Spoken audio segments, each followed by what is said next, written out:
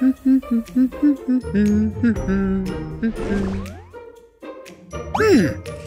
Okay, what's happening today?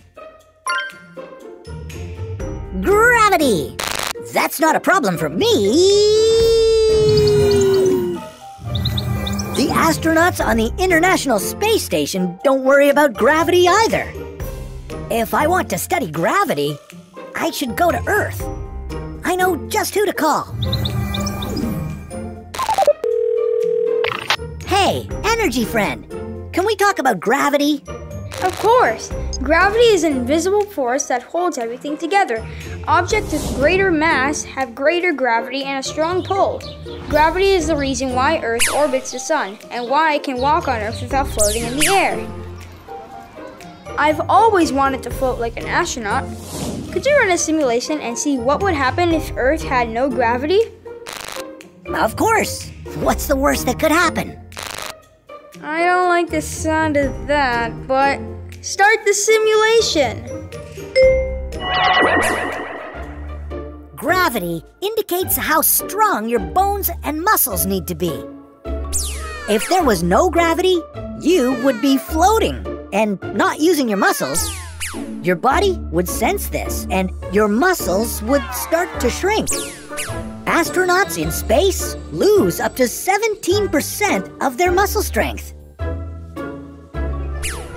With no gravity, your body would change how your bones grow.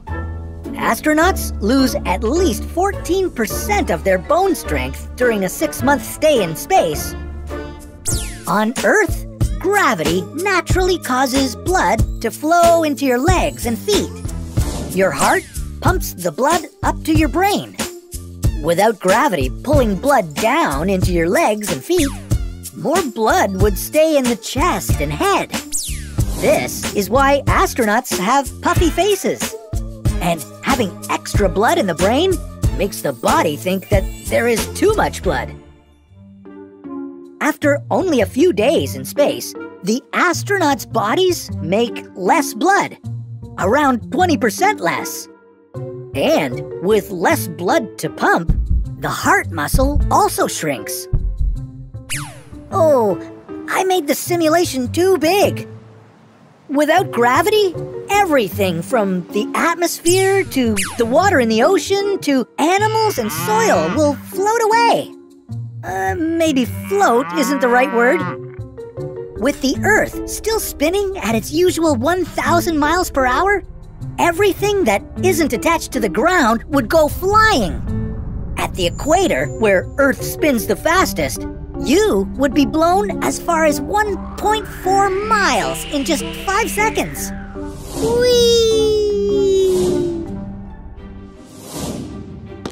Oops. The Earth is kept together by gravity.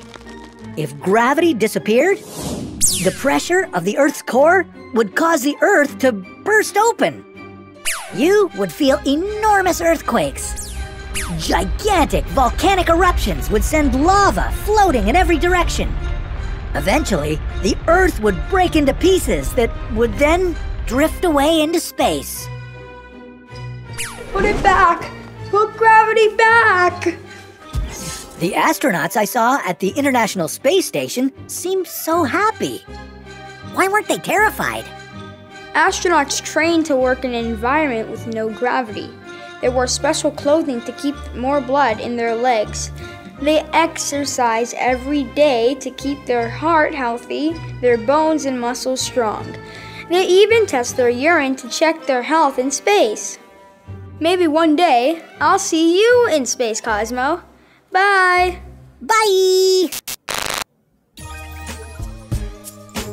Hmm, which chapter should I research next? Cosmo! Hey everyone, Cosmo here.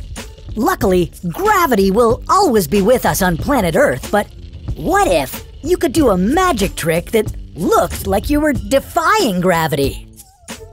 This trick might get messy, so try it over the sink or a large bowl. Step 1 Gather your supplies. You'll need a plastic cup, a thick piece of paper that's large enough to cover the top of the cup and some water. Step 2. Fill the cup with water all the way to the top. Step 3. Put the piece of paper on top of the cup. Step 4. Put your hand on the piece of paper. Step 5. Turn the cup upside down with your hand still covering the paper. Step 6. Carefully remove your hand. Is your paper defying gravity? What's actually happening is that air pressure is keeping the piece of paper in place. Happy experimenting! And I'll see you next time on What If Kids. Goodbye!